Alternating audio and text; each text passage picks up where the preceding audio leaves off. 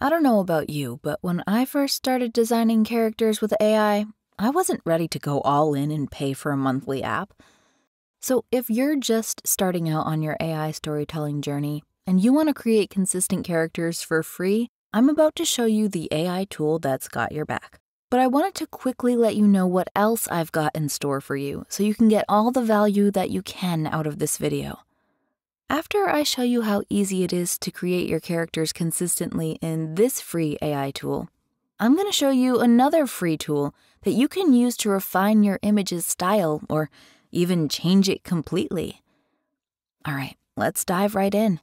Head on over to labs.google/fx. The link, of course, is the first thing you'll find in the description below.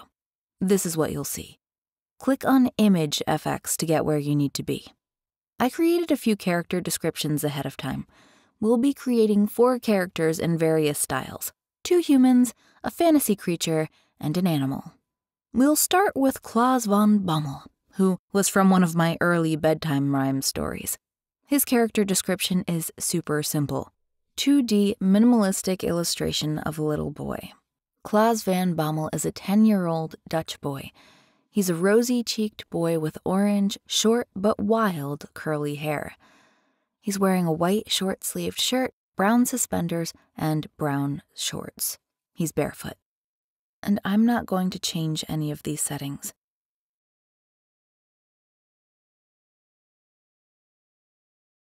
There we have it. Those are perfect.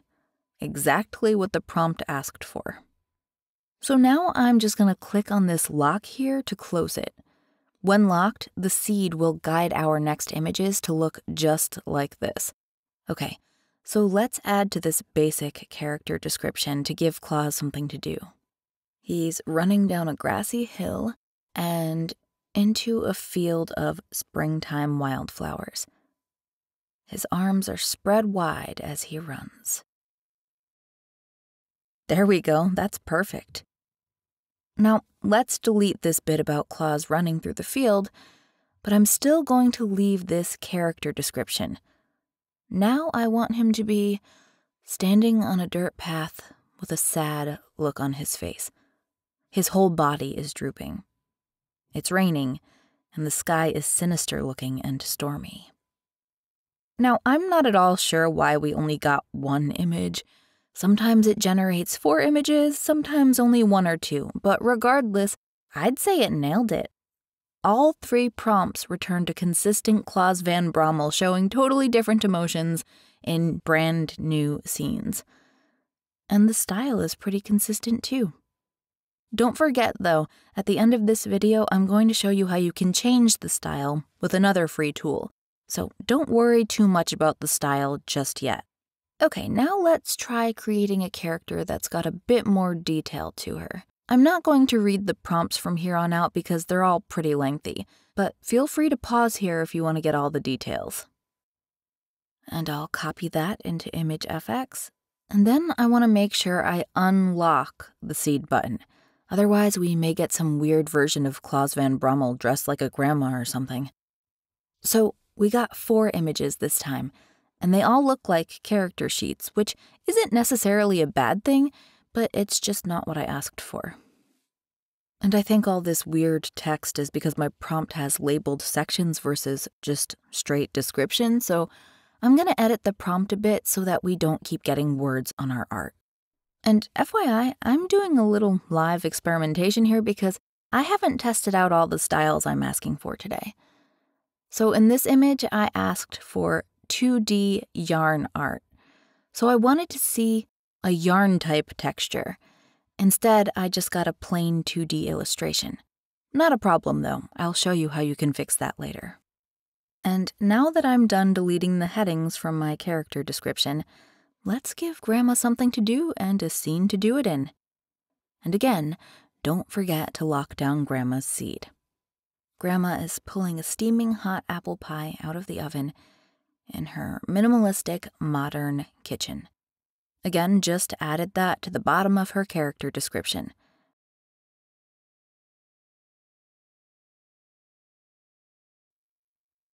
Not bad. Not bad at all. I think I could use any of these. Okay, what should we ask for her to do now? Grandma is sitting on a porch swing at sunset. She's holding an open book in her lap, but she's not reading it. Instead, she's looking at the sky with an expression of awe on her face.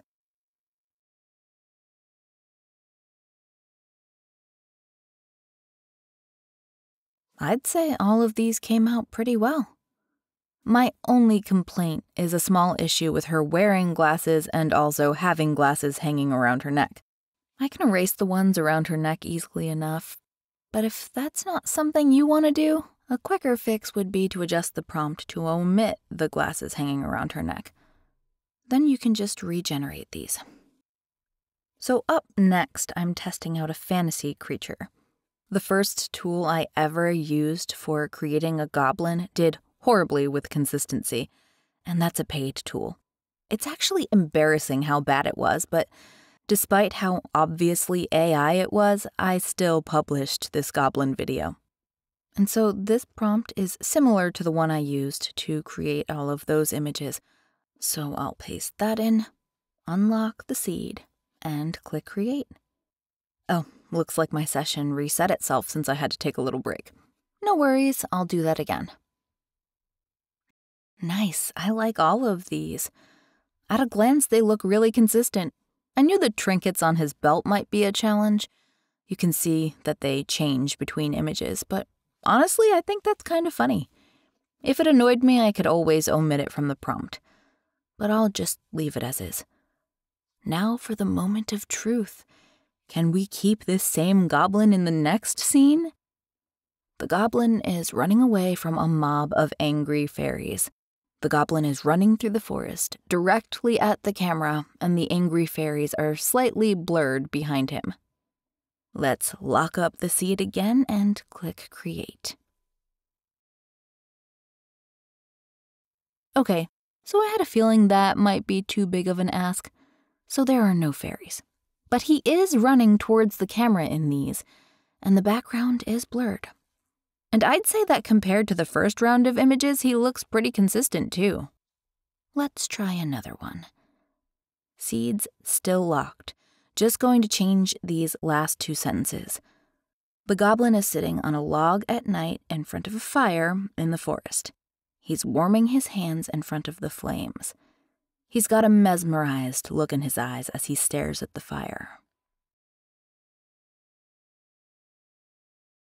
These aren't too bad, definitely consistent to our other two batches of images, but I'd say he looks more scared or surprised than he is mesmerized.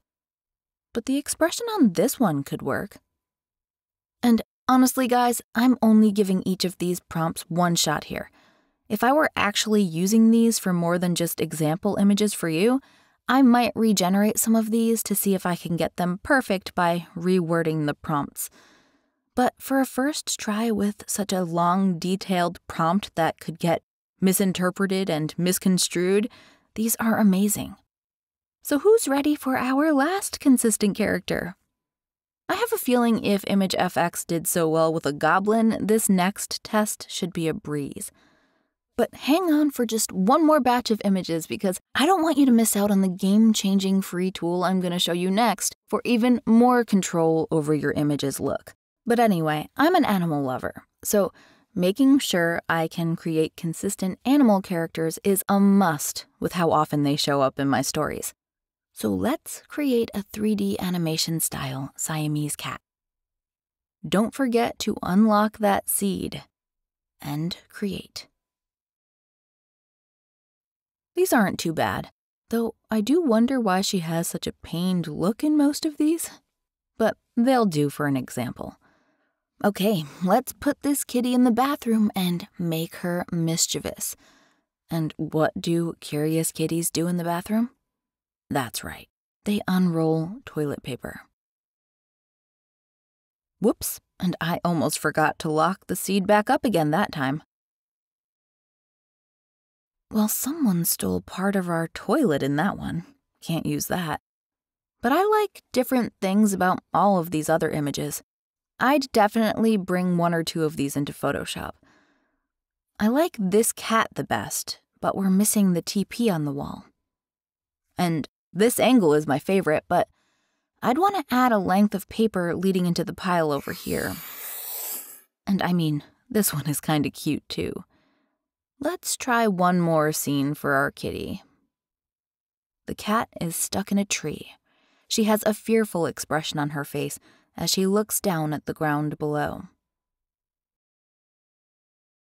She definitely looks scared in all of these, but I wouldn't say she's looking down in any of them. Still, depending on what the story is, these could be usable, especially if you have plans to animate them with an AI video tool. And as you can see, these cats are all consistent between scenes. I have no complaints. ImageFX is a free AI tool that works better than at least two other AI tools I know of that cost 10 to $20 per month. Well, at least to access their consistent character features. Need I say more? Okay, I know you've been dying to find out the other AI tool I've been teasing you with. I've been totally obsessed with this one lately. I've already done a few videos about some of its premium features but the free plan has a couple of notable gems worth mentioning too. Let's say you're not impressed with the style Image FX spit out. Like this image, for example. Remember I wanted it to look like it was made out of yarn? Well, that just so happens to be one of the styles you can get access to in Dzine AI's free plan. So let's see what it does to this image.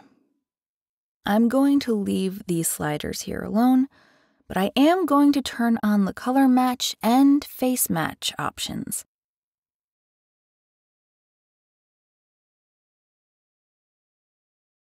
Well, these suck.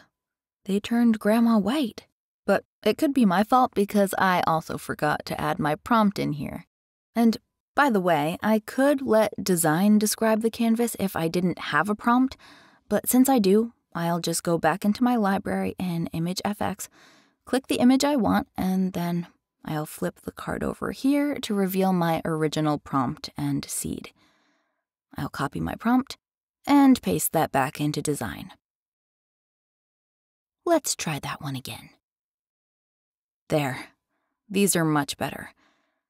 I think I like this one the best. Let's do one more example with our cat because I really don't like the way that ImageFX does 3D animation style images.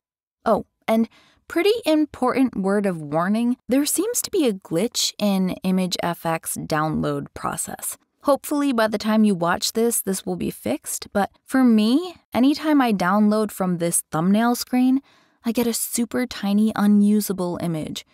Look how small this file is only 5 kilobytes.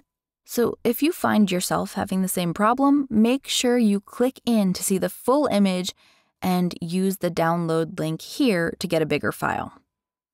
Such a huge difference. Anyway, I was saying that I'm picky about my 3D images, and Dzine has a bunch of 3D styles to choose from. Seriously, my only complaint is that there's no search bar to navigate all these. Over here, they're broken up into sections, so that might help you find what you're looking for a little bit faster. Let's try this dreamy 3D style. The bathroom in this image is looking a little too grungy. It could definitely use a dreamy makeover. There we go. I like this style a lot better. And I think this one's the winner. It totally fixed that toilet paper roll problem I was having. Instead of the roll unraveling along the wall, though, it's completely empty. But that works too. And look at how her eyes have brightened. The overall lighting has improved too, I think. The bathroom's not gorgeous, but it does look a little nicer now. Anyway, here are some other examples that I tested out before I started recording of how this chubby pug looks when we put it through various styles on Dzine. This is the Image FX generated image. Then we've got minimalist cartoon, neo digitalism, Toonface, another example of dreamy 3D. Can you tell I like that one? This one's everything kawaii, 3D pixel for that Minecraft look, paper cutout, which is pretty cool, and colorful felt. And that's just a tiny sampling of all the styles Dzine has to offer. So have at it, my friends. Give Dzine's image to image tool a try and never worry about having a consistent style for your stories again. I actually use this a lot when I've got to make images from different platforms look more cohesive so that I can use them together in the same story. Now, as you may have noticed, ImageFX doesn't have much to it. It's a very simple platform, which may be good if you're new to all this and want to get going as fast as possible. But if you're looking for a platform with more robust features to take your consistent characters to the next level, you definitely don't want to miss this video right here.